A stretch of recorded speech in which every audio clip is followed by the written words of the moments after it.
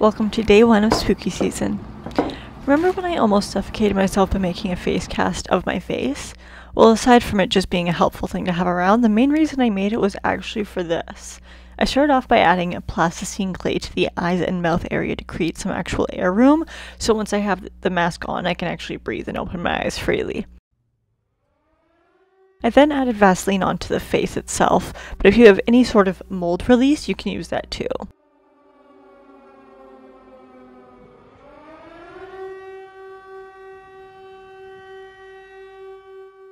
Get the basic shape down, I rolled out some air dry clay. The color does not matter. I placed it over top. Eventually, this is not even going to be part of the mask at all, but for now, when I was making this, I thought it would be, and it was still helpful in the process. If you can add something around the edges to make it less um, pointy to your face, definitely go for it. I added the clay over top and used my hands to shape it around my face, my casting of my face at least, alongside using a clay tool to indicate early on where I would want the elastic to go to contain it, again, to my face. I also know that I want one of my eyes to completely show through. Being sure to next cut out the eye hole. Honestly, way too big, but it's better to start off bigger as this does get built onto a lot.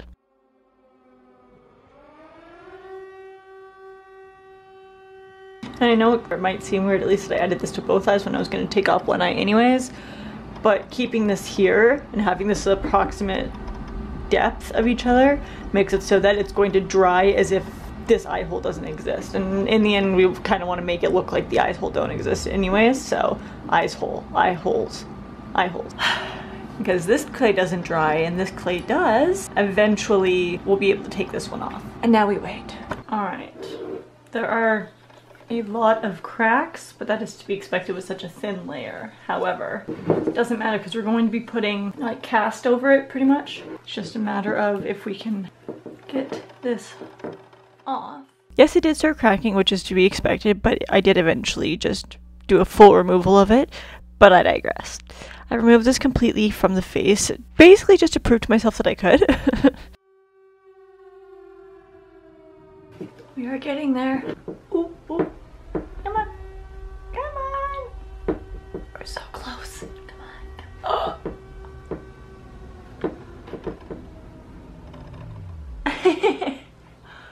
I mean, it worked, but at what cost, you know?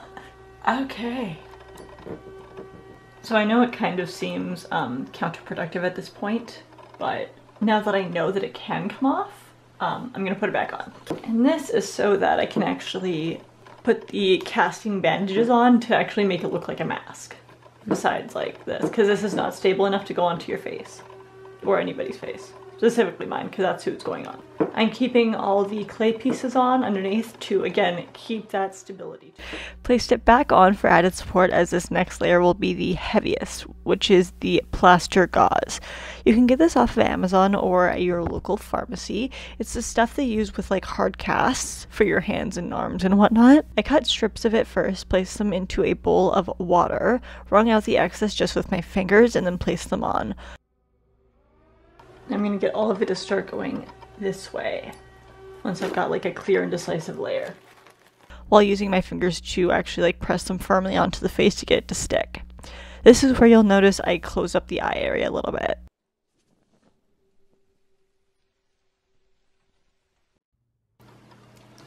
Okay, this really looks weird because I haven't added the final portions to it, but I think I'm gonna do that after this layer dries down, just to see how much I can actually add to it. I let that dry overnight and then just continued back with some regular gauze.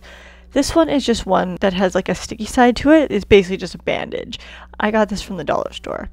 I didn't really like the look of the plaster gauze because it still had like the texture to it, like not the good texture, but like the almost trypophobia texture. But I needed the reinforcement. This gauze gives a much smoother edge, which will seem counterproductive in just a little bit, but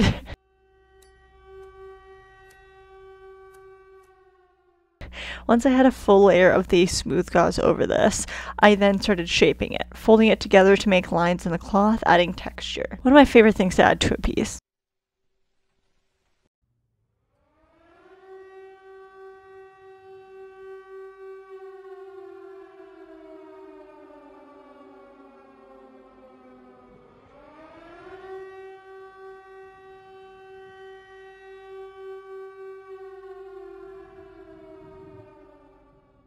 I'm almost positive I used up all of this for this project. Okay.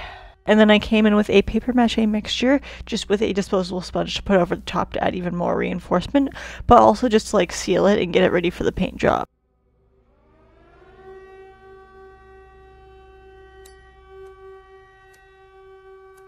Oh my god. Oh my god.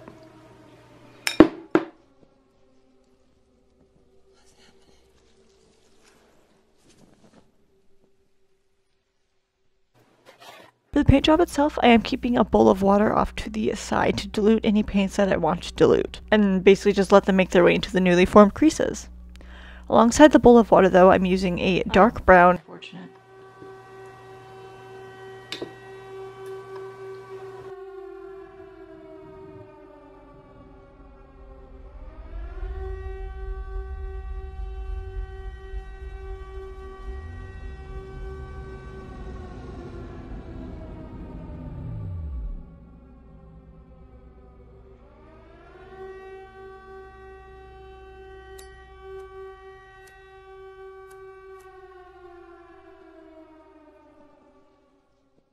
and then mixing the two for around the eye area, kind of cascading out.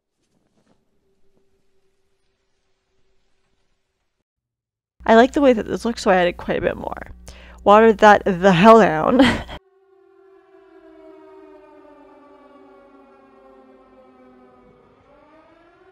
Once that was completely dry once again, I dry brushed some white over the peaks, the mountains if you will.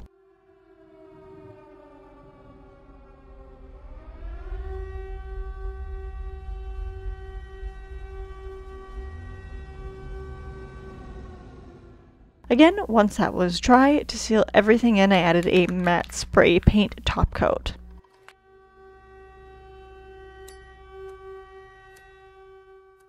This is where the clay ended up being removed from the project, as it basically served its purpose, so it was fine.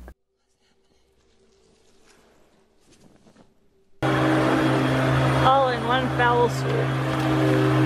Kind of. That's almost creepy in itself. Then finally it was time to add the elastic, but I needed to figure out where first. I initially made holes in the clay with the clay tool just to kind of get like the gist of where I wanted it, but now I had a much harder surface to get through.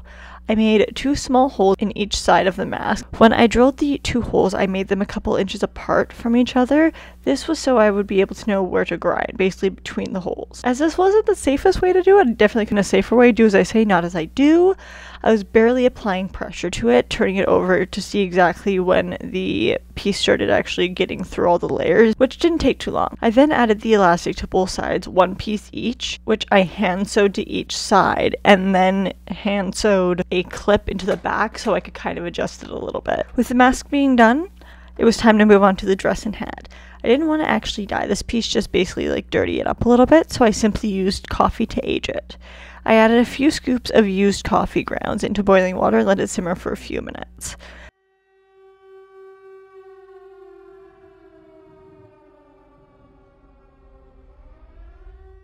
Then added the hat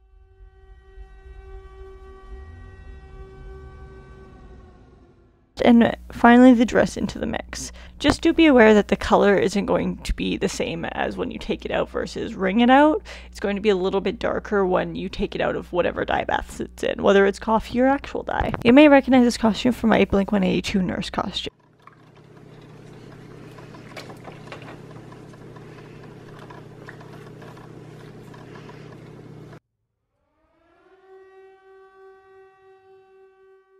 I didn't care too much to fully wash this out, as if like waiting for the water to run clear like you're supposed to, because it's coffee.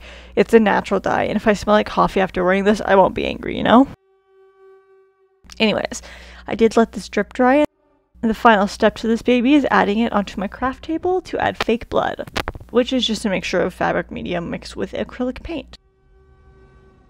Slapping that on, literally, all over the back, front, and hat. Definitely waiting for each layer to dry before I flipped it.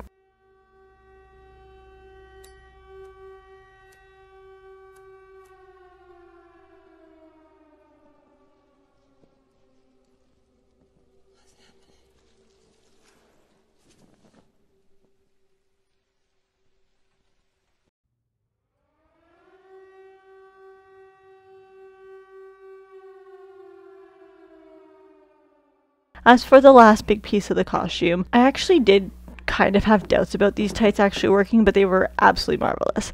I started them out by putting my mannequin on my craft table, being sure to remove the removable heels and saran wrapping the entire bottom as to make sure that the paint that I'm about to use does not stick to the mannequin, and instead maybe sticks to the plastic wrap.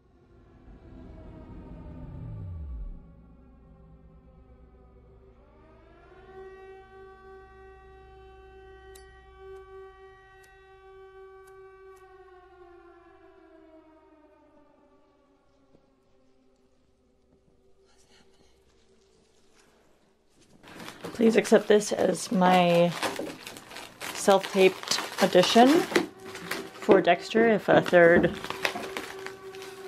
rendition comes along.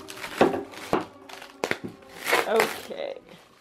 I've never seen this method done, although I'm sure it has been, so I had nothing really to go off of. So every precaution I could think of was taken. Then I added the pantyhose on.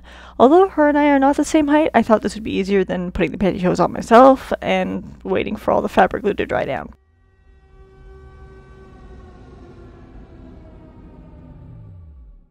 I did use multiple references photos, but all of the nurses do have different veining, so I also just went for it using a puffy blue paint.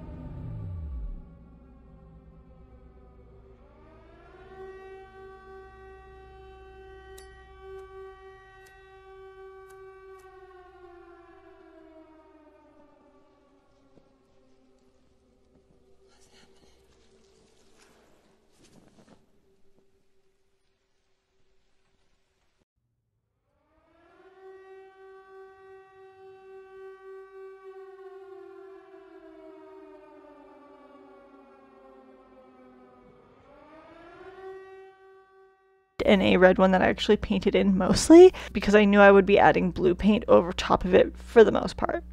I went between using the reference photos, as I said, to actually Googling veining to see how I should make it as realistic as possible. When I tell you that this took days, man oh man, good thing I was using a mannequin.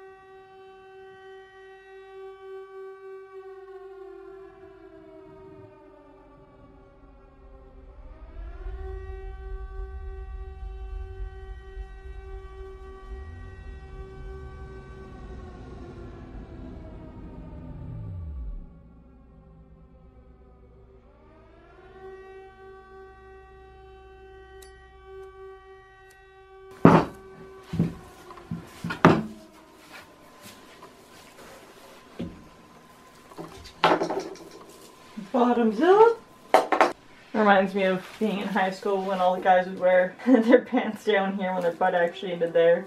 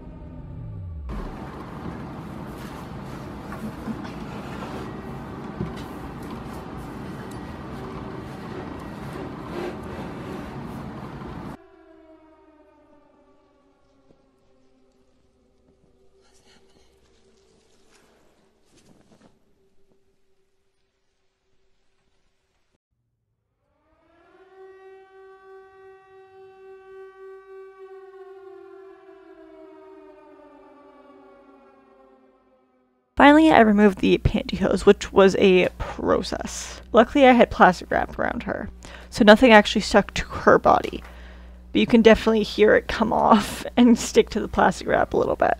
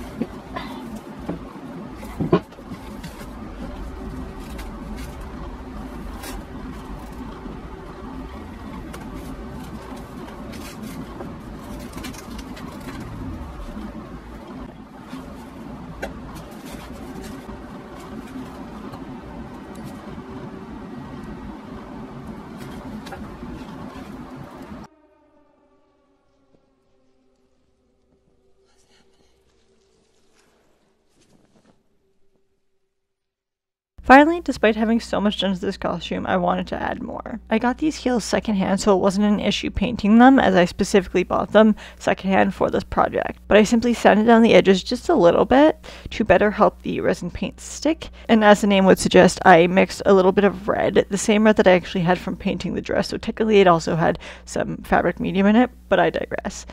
I mixed that in with a little bit of resin and painted around the edges, and just let it drip down naturally.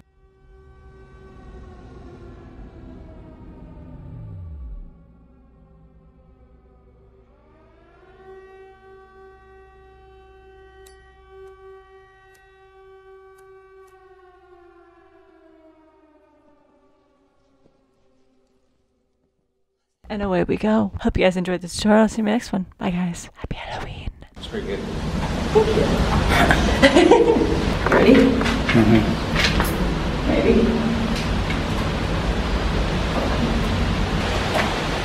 Took me a second. I just, I turned it on and then I freaked out because it was working and I turned it off and I tried to turn it on again and it didn't work.